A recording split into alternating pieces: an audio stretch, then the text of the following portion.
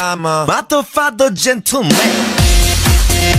Y aquí está el divertidísimo blooper de Squid Game, que en realidad llegó a la serie. Desde que comenzó a transmitirse el K-drama de Squid Game, ha llamado la atención de los fanáticos en todo el mundo por su historia oscura y naturaleza violenta, cuidadosamente representada en los personajes, el escenario y el diálogo. Con todo el trabajo duro y el pensamiento que se invirtió en el programa, es fácil asumir que todo fue meticulosamente planeado y controlado. Sin embargo, esto no parece ser el caso. En una entrevista reciente con Netflix Corea, algunos de los actores y el equipo de producción se centraron y discutieron diferentes aspectos del programa, desde el set, los actores y las historias detrás de cámara. Durante el video, los invitados hablaron sobre algunas de las escenas que más les llamaron la atención y por qué. En particular, el director Juan Do-hyuk habló sobre la primera vez que los espectadores pudieron ver a Sae-byuk, interpretada por Jung Ho-young, y su interacción con Seong Gi-kyu, interpretado por Lee Jung-hae. Según el director, parece como si esta escena estuviera llena de improvisaciones no planificadas, mostrando cuán talentosos son los actores de la serie. Lee Jung-hae se encontró con Bae Byuk y él estaba ocupado, pero todavía amablemente recogió su café. Hubo muchas expresiones detalladas, improvisadas en una sola toma. Aunque no estaba planeado, Juan Do-hyuk agregó que cada personaje tenía su propia interpretación de su papel con su giro en ciertas escenas. Fue esta autenticidad lo que hizo que los fanáticos se enamoraran del programa. Si las improvisaciones no fueran suficientes en la escena, después de que el personaje de Lee Jung-jae ayudó a mejorar el personaje de Jung Ho Young, otra parte de la escena no estaba realmente escrita. Fue el momento en el que Lee Jung Jae volvió a poner la pajita en la taza del café. Sin embargo, si los fanáticos no hubieran notado el gesto inesperado, los dos actores principalmente señalaron una parte de la escena que los fanáticos posiblemente no habrían notado, pero mostraron la espontaneidad de la acción. Era Jung Ho Young riendo después de que Lee Jung Jae se escapara. Sin embargo, Juan Do Hyuk explicó que mantuvieron la escena porque era demasiado buena para desperdiciarla. Incluso Ji Jun Jae no se dio cuenta de lo que había hecho en ese momento, pero pensó que reflejaba el lado heroico de su personaje. Como era de esperar con un espectáculo lleno de actores y conceptos increíbles, estos pequeños detalles pueden parecer menores, pero se suman a la trama central, haciendo que los espectadores se enamoren más de los personajes. Miren lo que he ganado amigos con la aplicación Kawaii, 5 mil pesitos, así que si quieres ganar, descarga la aplicación Kawaii, utiliza mi código que es Kawaii 140 147 999 247 y gana como yo, simplemente viendo videos de BTS. Y los internautas ya están amando la pista producida por Suga de BTS para la cantante japonesa Omi. La cantante japonesa Omi de Exile Triple anunció su próximo single incluida una pista que fue producida por Suga de BTS. El 8 de octubre, la cantante japonesa reveló su sencillo Answer Shiny, que será lanzado el 15 de octubre que incluía dos pistas, You, producida por Suga de BTS y Starlight. Las dos canciones son las pistas que simbolizan la sombra y la luz, y la cantante japonesa lanzó un teaser especial para su próximo sencillo en el que la vista previa de la pista producida de Suga comienza en el minuto 054. Tan pronto como se lanzó el teaser del single atrajo mucha atención ya que incluía el fragmento de You producido por Suga. Los internautas coreanos se reunieron en una comunidad en línea para expresar su asombro y entusiasmo por la nueva pista. Los internautas comentaron, como fan de BTS estoy feliz, la canción ya suena increíble, incluso desde el fragmento corto. Nunca escuché de este artista, pero estoy muy emocionado con esta canción. Oh wow.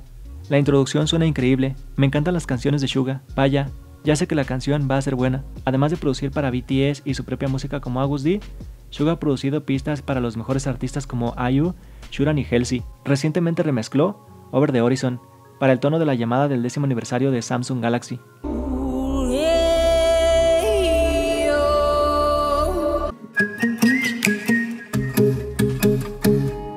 Por cierto, estoy regalando un boleto para el concierto de los chicos de BTS. Para participar, compra mi curso de coreano. Para más información, mándame mensaje en facebook.com diagonal y. Y Good Morning America bajo fuego por nombrar inapropiadamente el video de presentación de The Fields de The Twice. Twice apareció recientemente en el programa de entrevistas matutino GMA3, What You Need to Know, un derivado del programa de entrevistas Good Morning America GMA, para promover e interpretar su primer sencillo en inglés, The Fields. Al igual que lo hacen con sus otros invitados, Good Morning America subió la actuación y la entrevista de Twice a su canal de YouTube, por lo que las Ones no pudieron ver a Twice actuar en el programa de entrevistas matutino y podrían verlo más tarde. Aunque Twice acudió con su actuación en los GMA 3, los fanáticos notaron que el título en el que el personal de GMI 3 le dio al video de YouTube que era inapropiado y despreciaba los logros y contribuciones de Twice al K-pop en general.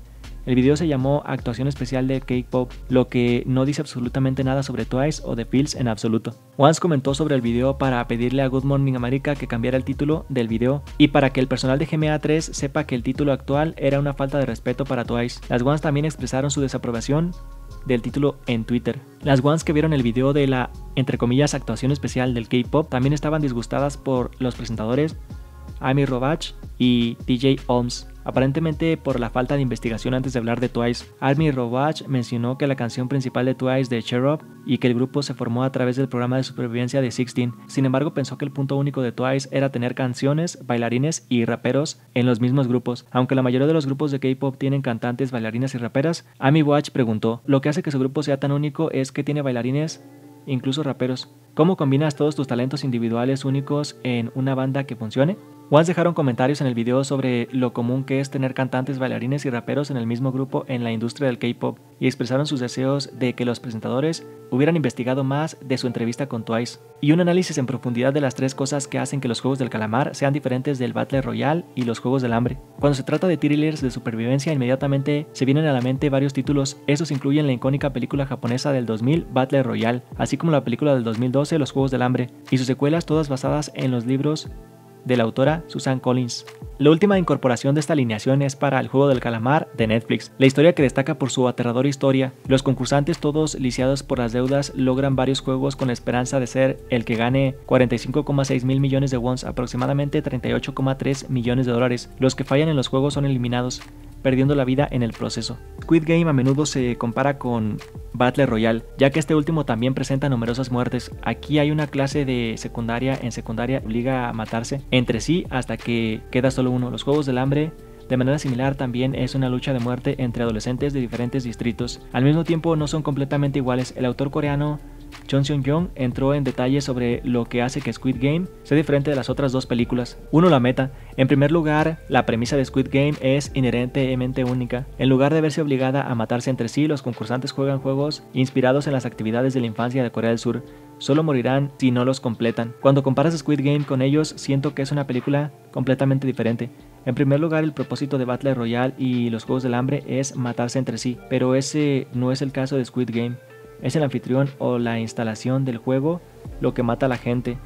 La hoja simplemente baja desde arriba y corta la cuerda, reveló Chon Seong-young. Hubo una escena en el episodio 4 donde los concursantes se separaron en grupos para matarse entre sí, pero ese no fue un juego oficial. Por otro lado, los personajes de las películas estadounidenses y japonesas necesitan sobrevivir a los asesinatos a otros para poder ganar. Por supuesto, hay algunas escenas en las que las personas se matan entre sí por la noche para aumentar sus propias tasas de ganancia y hay algunas líneas que dicen que ese es el juego oculto. Pero en el drama, estos seis juegos mencionaron por la organización que no existe el juego oficial de matarse unos a otros, reveló Chon Seung-yong.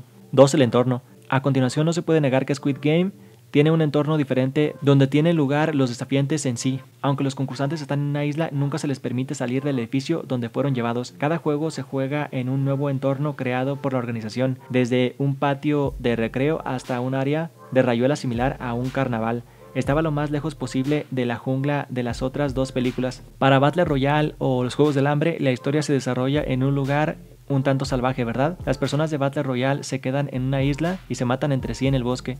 Y los Juegos del Hambre también compiten en el bosque donde parece que no vive un alma. Pero el sitio de filmación de Squid Game es completamente diferente. También es una isla, pero está completamente controlada y es artificial, reveló Chon Seung-jong. Chon Seung-jong incluso señaló que en algunos puntos los decorados eran tan artificiales que parecían producciones del programa de variedades. El episodio 6, por ejemplo, tenía casas simuladas que recordaban a las antiguas casas coreanas. En cierto modo es como si estuvieran viendo el sitio de filmación de un reality show, Battle Royale, y los Juegos del Hambre, que tienen la naturaleza salvaje como sus antecedentes de Squid Game y se llevan a cabo en un espacio civilizado. Entonces, en ese sentido, el significado de esta serie es totalmente diferente al de las otras dos. 3. La regla. Finalmente, Squid Game tiene una regla única en la que se puede determinar todo el juego si la mayoría de los concursantes están de acuerdo algo que realmente pasó en el segundo episodio. Mientras tanto, las otras dos películas están ambientadas en sociedades distópicas en las que no pueden optar por salir de los juegos pase lo que pase. En Battle Royale el país hizo la batalla con el propósito de disminuir el número de desempleo juvenil. En los Juegos del Hambre, la gente del Capitolio vino y eligió personalmente al azar para competir. Por lo que Katniss se ofreció como voluntaria para competir en lugar de su hermana, reveló Chon Seung-young. Esta regla dio una dimensión completamente nueva al K-drama, donde el tema del libre albedrío entró en juego. Después de todo, 187 de los 201 participantes regresaron al juego a su posible muerte, incluso después de que se les permitiera irse. El 93% de la gente regresó voluntariamente. Detrás de las razones por las que regresaron estaban sus historias personales, por ejemplo, su mamá estaba enferma o era perseguido por una pandilla.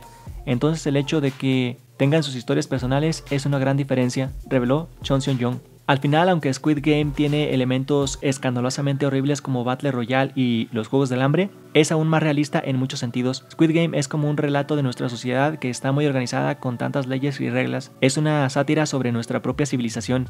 Puede parecer que es el mismo género que Battle Royale y los Juegos del Hambre, pero el mensaje real que está tratando de transmitir puede ser diferente, reveló Chon Seung-jong.